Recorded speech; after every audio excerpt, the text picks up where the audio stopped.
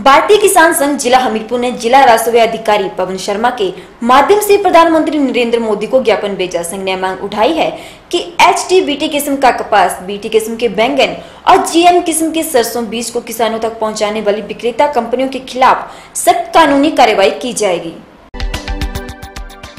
भारतीय किसान संघ जिला हमीरपुर ने शुक्रवार को जिला राजस्व अधिकारी पवन शर्मा के माध्यम से प्रधानमंत्री नरेंद्र मोदी को ज्ञापन भेजा। संघ ने मांग उठाई कि एस टी बीटी किस्म का कपास, बीटी किस्म के बैंगन और जीएम किस्म के सरसों बीज को किसानों तक पहुँचाने वाली विक्रेता कंपनियों के खिलाफ सख्त कानूनी कार्रवाई की जाएगी। इनमें हानिकारक जीन डाले जा रहे हैं। संघ के प्रदेश अध्यक्ष डॉक्टर सोमदेव शर्मा ने कहा कि जब से बीटी कपास की खेती का देश में प्रचलन हुआ, तभी से मुनाफाखोर बीज कंपनियों का दबदबा बढ़ गया है और अन्नदाता किसान आत्महत्या करने लगा। उन्होंने कहा कि जीएम फ़सल में कोई भी अधिक उपजाऊ शक्ति वाला जीन नहीं डाला जाता है। डॉक्टर श्योमदेव ने कहा कि जो कंपनी ऐसी हरकतें करती है, उनको प्रतिबंधित किया जाएगा। काली सूची में डालना और उन्हें देश के बाहर का रास्ता दिखाना अति आवश्यक हो गया है।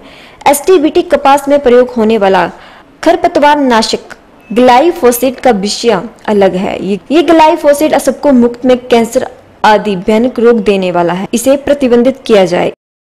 आज भारतीय किसान संघ हिमाचल प्रदेश पूरे प्रदेश में धरना और प्रदर्शन कर रहा है। क्योंकि जो किसानों के लिए बीज की समस्या है और बीज जो है उसमें डिफरेंट विभिन्न प्रकार के बीज आज मार्केट में चोर चोर चोरी के तरीके से आ रहे हैं। और वो जीएम फ़सलें बीटी ब्रिंजल बीटी कपास और एच टी बी टी एक नए, एक नया ही नए प्रकार का बीज आ गया है, जिसमें ग्लाइफोसेट पे स्प्रे करने के बाद केवल वो पौधा नहीं मरेगा, जिसमें वो एक प्रकार का उसका डीएनए चेंज किया गया है, और उसके चारों तरफ़ जो भी ग्लाइफोसेट स्प्रे किया जाएगा, उससे सारी जो वनस्पति है वहाँ की मर जाएगी।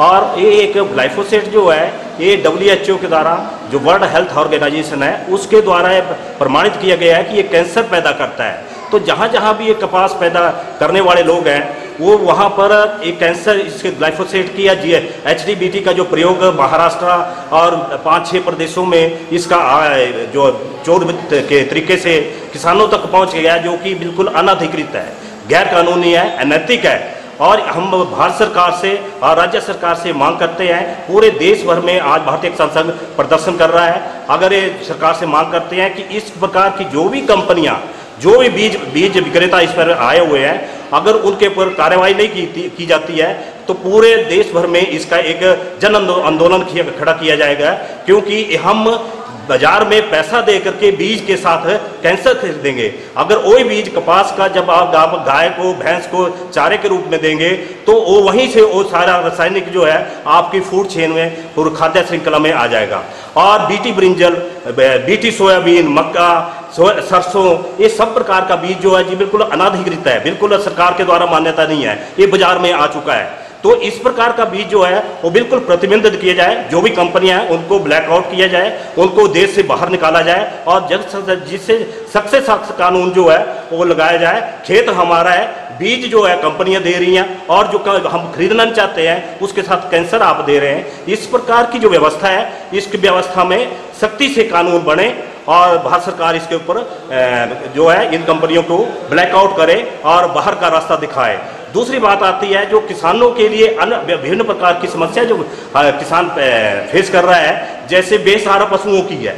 हिमाचल प्रदेश में बेसहारा पशुओं की बहुत बड़ी समस्या है, उसके साथ बंदरों की समस्या है। हम बार बार भारतीय किसान संघ जो है प्रदेश सरकार से आग्रह करता है, संवेदनशील सरकार है, हम ये आग्रह करते हैं बार बार कि बेसहारा पशुओं की व्यवस्था सेंचुरी में करें, बंदरों की जो व्यवस्था है उसको करें, ताकि जो खेती करने का माहौल है, वो किया पैदा किया जाए। लगभग इस समय जो है 50 प्रतिशत जो किसान है गर्म इलाके के वो खेती छोड़ चुके हैं।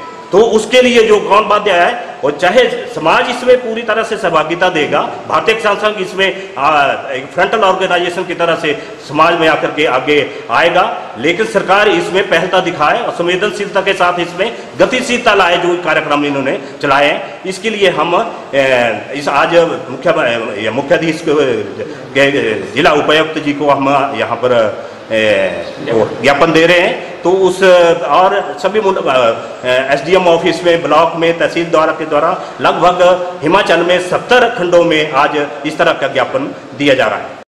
इस मौके पर जिला परिषद सदस्य पवन कुमार अमित चंद प्रिंस ठाकुर बलवीर किशोर, पुरुषोत्तम लाल चंद्रशेखर, कमलेश रमेश पटियाल, कुलदीप प्रकाश ठाकुर ने सहित अन्य लोग उपस्थित रहे इसके साथ उन्होंने प्रदेश के मुख्यमंत्री से मांग उठाई कि लावारिस पशुओं और बंदरों के लिए जंगल में सेंचुरी बनाकर उचित प्रबंधन किया जाए ऊना, कांगड़ा और सिरमौर में अनाज मंडियाँ स्थापित की जाएँ।